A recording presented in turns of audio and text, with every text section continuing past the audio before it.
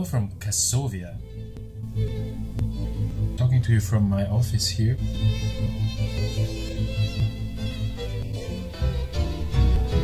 We are very happy with my band, the Five Devils, to take part in this really wonderful project. And the Benedetti Foundation, which was so supportive. The gypsy music itself is something incredible, colorful, and uh, so rhythmic. I have the, the great chance to enjoy it with my five brothers together. Methods you already have music that you have listened before. I'm really looking forward.